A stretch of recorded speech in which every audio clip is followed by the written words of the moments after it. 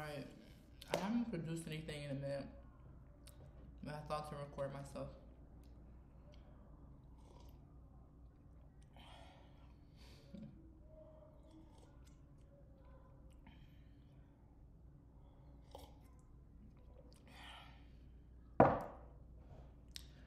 Just to have some fun.